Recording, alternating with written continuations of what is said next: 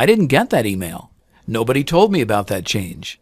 In organizations where inboxes are full of long messages, making sure everyone gets the message can be a full time job. SharePoint helps with the Newsfeed microblog. Microblog posts are short, to the point messages that can be read quickly while working. Posts help encourage discussions that build understanding and personal connections. Small but mighty, newsfeed messages can contain rich content and support ways to categorize and target messages. Here's an example. Tom Haller is the company's trainer, and he wants to let the whole company know about a class he'll be conducting. He clicks on Newsfeed in the header to get to his personal newsfeed. The message post area is right at the top. Like an email message, posts can be targeted to groups. In the Share With area, Tom finds a menu which allows him to share with everyone or specific SharePoint sites he's following. He types a short message to everyone. There's a limit to the amount of text you can enter in newsfeed posts. This helps keep messages brief so readers can quickly get the main idea.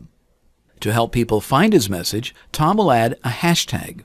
A hashtag is a word or phrase without spaces, starting with the pound or hash symbol, designed to categorize messages with a topic.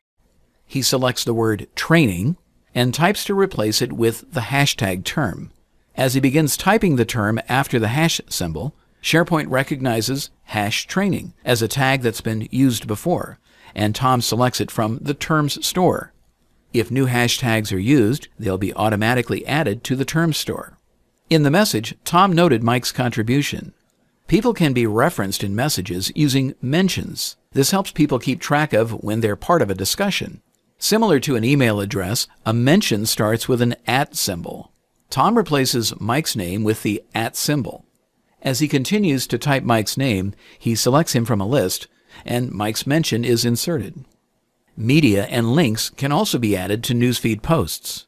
Pictures can be added using the picture icon, and links can be pasted in. Mike sent Tom a link to a training video. With his cursor at the end of the message, he pastes the link address. The link is highlighted, and a preview of the video is inserted into the message. Now Tom's message is ready, so he clicks Post. Tom retains control over the message with the ability to delete it if necessary. The message is available to all through the Everyone view of the newsfeed. Since Tom used the training hashtag, it shows up in the Trending Tags area. Readers can click on the trending tag to show conversations related to the tag. The Newsfeed microblog provides a social messaging alternative to email that helps keep everyone part of the conversation.